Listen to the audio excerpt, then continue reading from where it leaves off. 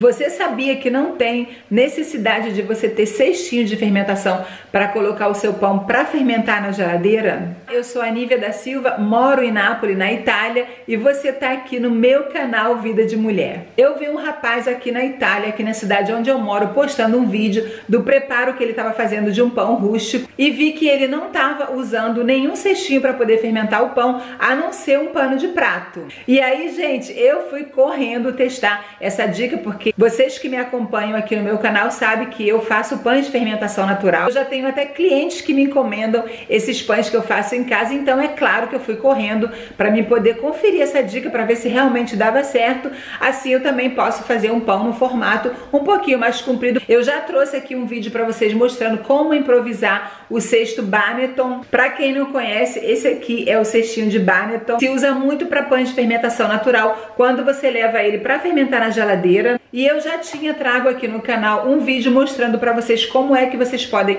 improvisar com cestinhos de palha e vários outros tipos de cesto para deixar o seu pão fermentar na geladeira. Mas no vídeo de hoje eu vou trazer para vocês aqui uma outra dica ainda mais interessante. Vocês podem colocar os pães de vocês para fermentar na geladeira sem nenhum cestinho, nem mesmo cestinho de palha vocês vão precisar. Claro que a gente adora esse cestinho Barneton, todo mundo que faz pão de fermentação natural adora fazer naquele cestinho bem fofinho, que é esse aqui que eu mostrei para vocês agora. Os pães ficam bem fofinhos, bem bonitinhos, bem redondinhos. Mas você também pode fazer aquele pãozinho comprido usando um outro método que eu hoje vou mostrar para vocês aqui.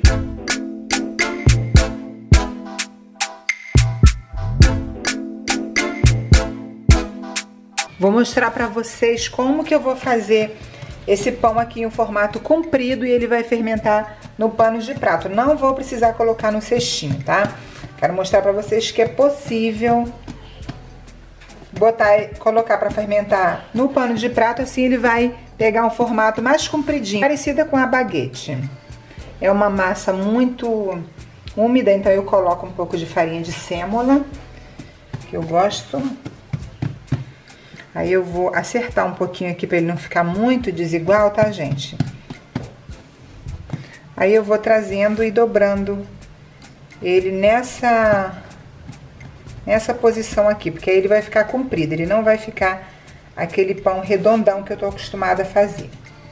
Quero mostrar para vocês que dá para poder fazer. Se você quiser fazer um pão bem comprido, e às vezes o cesto não cabe se você fizer um pão com formato muito comprido. Aí eu vou amassando aqui para poder tirar essas bolhas.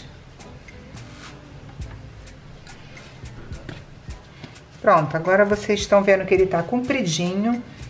Vou mostrar como que eu vou colocar ele no pano de prato para ele fermentar durante a noite na geladeira. Olha, gente, vou mostrar para vocês, para não ficar dúvida. Eu vou pegar um pano de prato limpo, ó. Esse aqui é próprio para mim fazer os pães, então eu uso só para isso fazer aqui um espaço para vocês conseguirem entender. Aí eu vou abrir assim, no formato que dê para mim colocar o meu pão ali dentro. Ó. Vou colocar a farinha aqui no meio. Vou colocar ele nessa direção aqui, tá? Já que ele é compridinho, então vou usar o pano nesse, nesse, nessa posição aqui para ele ficar certinho. Agora eu vou pegar a massa do pão, coloco aqui, posiciono aqui no meio, ó. Estão vendo que tá com bastante bolhas, que tá bem fermentada a massa. Coloco mais farinha por cima para não grudar no pano, que é uma massa úmida. Aí eu vou pegar uma ponta. Olha, estão vendo, né? Olha, peguei aqui essa ponta e puxo a outra ponta por cima. Esse pano de prato aqui ele é bem grande, vocês podem até usar um menor, mas eu prefiro assim que aí ele fica aqui dentro, não vai ficar soltando. Aqui, gente, olha, eu dou aqui uma viradinha, tá? Assim, do outro lado a mesma coisa. Olha, só virar a pontinha dele aqui, a mesma coisa do outro lado.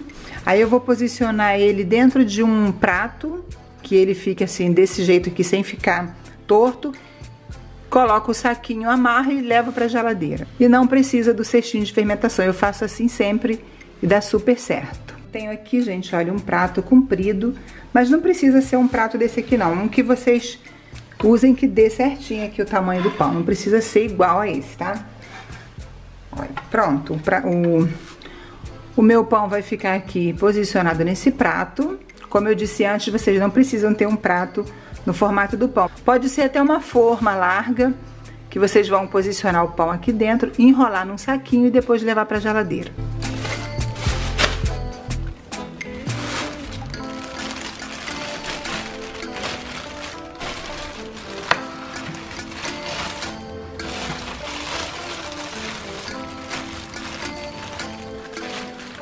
Pronto, desse jeito aqui, ele vai pra geladeira e vai ficar fermentando toda a noite, exatamente como eu faço com os pães no Banneton. E amanhã eu venho assar pra mostrar pra vocês como vai ser o resultado.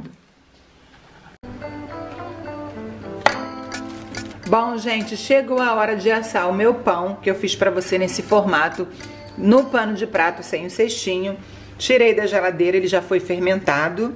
E agora, olha, vocês podem ver que não tem dificuldade para desenrolar, porque ele ficou na geladeira, o pão de fermentação natural, ele fica durante a noite na geladeira, então não vai ser difícil de vocês tirarem ele de dentro do pano, tá? Eu tenho aqui já o meu papel manteiga que tá preparado para mim colocar o meu pão em cima. Esse aqui é um papel é, mais resistente, tá, para o forno, porque o pão ele é assado numa temperatura bem alta, então tem esse papel aqui que ele é mais adapto para uma para levar o forno numa temperatura muito alta, que que é como essa aqui de assar o pão. Pronto, olha, vocês podem notar que ele ficou bem compridinho. Por isso que eu decidi usar essa técnica pra me ver se dava certo. E deu muito certo, gente. Agora eu faço os meus pães sempre... Eu faço sempre os pães pra quem quer um pão mais comprido, tipo bagueta, eu faço desse jeito, tá? Vocês viram que não é complicado. Agora eu vou fazer o corte em cima com a gilete. Eu tenho aqui a gilete. Cuidado quando vocês forem manusear a gilete para fazer esse corte, porque às vezes a gente acaba cortando um pouquinho o dedo na hora de fazer esse corte. Então eu vou fazer três cortes aqui na horizontal.